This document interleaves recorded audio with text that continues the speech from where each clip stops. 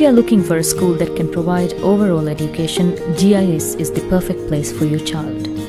We provide child friendly education in Malé for hundreds of children. We aim to make students self confident on and off the school grounds. We create course for novel independent learning with UK's number one METS website myimet.com and the popular polarfishbooks.com. We are a home for self expression and skills with specialized sports clubs. We try to figure out how East meets West and the past points to future.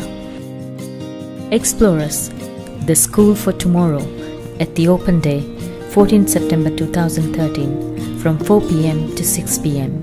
Ghiyasuddin International School.